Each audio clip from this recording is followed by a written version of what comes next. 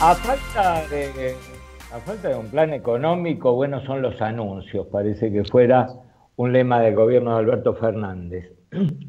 El problema, porque siempre escuchamos anuncios, se dejan trascender, algunos se concretan, otros no, pero eh, aparte de que de los que no se concretan, que son como globos de ensayo, a ver qué reacción tiene la opinión pública, hay algunos que se concretan, pero con mala praxis, sin ir más lejos, vayamos, ayer mismo el presidente hizo su autocrítica por lo de Vicentín, que estaba en concurso judicial y el gobierno salió con esta eh, intervención y expropiación que quedó parada. Y bueno, muy bien lo dice nuestro colega Hernández Goñi en el cronista comercial, que este, esas decisiones no se toman con el aplausómetro. Eh, vos, decías que un líder este, es el que dirige, no el que escucha a quien a, su dirigido para ver qué hace. Eh, pero también hay otros que tienen mala fe. Y ahora vamos a hablar porque de ambos casos, porque tanto con mala praxis o mala fe eh, hay trampas, especialmente en, en, muchas leyes o disposiciones, controles al que el gobierno es muy afecto. Por ejemplo, este fin de semana trascendió un proyecto de blanqueo desde la Casa Rosada a través de los cronistas políticos acreditados a Casa Rosada, con lo cual nadie preguntó muy bien los detalles, no sabemos muy bien qué es. Sí, sí sabemos que este proyecto para reactivar la construcción fue ah, eh, alentado o promovido incluso por la Cámara eh, de la Construcción y por el gremio de la construcción, que realmente está planchado, necesita reactivarse a toda costa. Pero ojo, el último blanqueo de capitales amplio, de los tantos que tuvo la Argentina, fue en 2016, en la época de Macri, eh, con la excusa de la reparación histórica de jubilados. Y miles de contribuyentes declararon 116 mil millones de dólares, que no estaban registrados en la FIP. Esto aumenta la base imponible y quienes declararon pagaron una alícuota que andaba entre el 5 y el 15% según el monto, el plazo, etc. Y después encontraron este, con una trampa institucional, llamémosle así, porque en teoría bienes personales iba a desaparecer en 2019. Ese fue uno de los argumentos que se usó en el blanqueo, que iba a ir cayendo hasta desaparecer. No solo no desapareció, sino que aumentó. En, la época de Macri volvió a las alícuotas anteriores y ahora, para este año, se duplicó la alícuota y para los que blanquearon. El castigo eh, acá está evidente este, eh, fue para los que se pusieron en, regla y la trampa también es evidente, porque no hubo suspensión del impuesto ni eliminación y ahora este, van a pagar alícuota de casi el doble por los mismos activos en dólares. El que tenía, no sé, 50 mil dólares va a pagar más teniendo 50 mil dólares o menos. Este, ahora, El premio, en este caso de blanqueo, ¿para quién va a ser? Para los evasores de un sector como la construcción que está acostumbrado a operar en negro, eh, por ejemplo, en el caso de la venta de departamentos, construcción y venta de departamentos de depósito, los eran papelitos, boletos que pasan de mano en mano sin registrarse. Pero ojo, los que compraron una propiedad con, desde el pozo a medio construir, con el objeto de, eh, de, alquilarla, ahora quedan encuadrados en la nueva ley de alquileres donde los contratos hay que registrarlos en, ante la FIP. Ahora, pregunta que me quedan sin respuesta. Esto es un trascendido, creo que no está ni armado un anteproyecto. ¿Van a estar dentro o fuera del eh, impuesto a los bienes personales?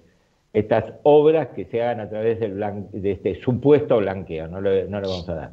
Ahora, ¿es razonable también otro blanqueo cuando la economía en negro supera el 35% antes de la pandemia y, probablemente haya aumentado con el cepo, el impuesto al dólar y la cuarentena? Bueno, hablando del dólar, la, trampa está implícita en el mecanismo, eh, ilegal, obviamente. El que vende dólares en el mercado paralelo tiene una diferencia a favor de casi el 80% que si los vendes en los bancos. Hay 50 pesos por dólar. Este, ¿Qué cotiza? Bueno, ayer en el, en el mercado comercial a 71 y en el Blue a 127. Y como decíamos antes, este, no solo aparecieron las trampas, la de los coleros virtuales, esta de la compra de bitcoins para liquidar en dólares del exterior sin pagar impuestos. ¿Tiene lógica este em, esquema cambiario? Y la verdad que no sabemos. Y para ir redondeando, Hugo, el jueves hablamos de eh, la moratoria medida de Cristóbal López, el proyecto oficial. Ahora podemos aclarar de qué se trata la trampa. ¿Te acuerdas que yo te dije, lo leí tres veces y no entiendo dónde está eh, la trampa? Hablé con un especialista y me explicó. Yo, ¿De qué se trata? Tengo, yo tengo una teoría, que la trampa no está en ese artículo, sino en otro. Es letra chica, ¿sabes qué? la moratoria arrancó en diciembre, ahora se amplía el plazo. En diciembre estaba expresamente excluido en algún artículo e inciso el impuesto a los combustibles y el impuesto a las apuestas de juego. Mira, casualmente los dos negocios que hicieron la fortuna y después, en el caso de los combustibles, la quiebra de Cristóbal López. Ahora el proyecto los incluye con esa figura deroga el inciso X del artículo tal y, anda, a investigarlo. Y por otro lado, hay un artículo mucho más cuestionable, porque es la primera vez que se aplica en la legislación argentina, me dijeron que permite a las empresas que estén en quiebra, pero sin sentencia firme, entrar a la moratoria. Ese, ese es el que yo tenía, tenía en la manga, digo, el de, el de la quiebra, porque el otro este, está bien. Eh, se, puede negociar. Por se puede negociar, ese lo sacamos. Pero como estabas en quiebra, entras y por lo tanto zafás por ese lado. Claro, y Cristóbal López adhirió al régimen de facilidad del impuesto a los combustibles como si fuera, lo hubiera evadido, pero ya dijimos que el delito es el fraude al Estado, esa plata no es de él, tenía que pagar los impuestos y se olvidó, compró empresas, compró medios con eso.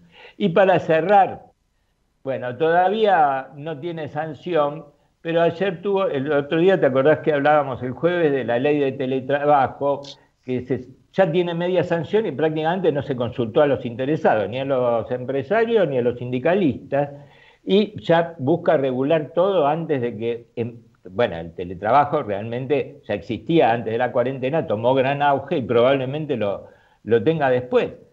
Pero esto de querer regular todo complica y creo que hay un comunicado de la Cámara de Comercio diciendo prácticamente lo que dijimos nosotros el otro día, que le aumenta costos a las pymes en vez de ser una, un atenuante para la crisis.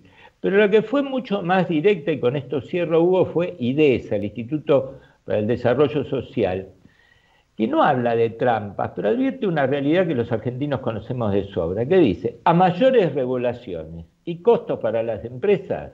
Este, esta ley, si sale así como está, el Senado todavía la puede modificar, lo único que va a aumentar no es el empleo, sino el, el cuentapropismo y por ende la informalidad laboral. Uno de los grandes problemas que tiene Argentina y que estamos viendo con toda nitidez en esta cuarentena que hasta no están identificados la gente a la que se le necesita ayudar y recién ahora se está viendo cómo inventarles un CBU, eh, cobrar por teléfono, etcétera. Eh, suficiente por hoy. Eh, lástima que esto no es la excepción, sino una constante en la Argentina, lo que acabamos de repasar.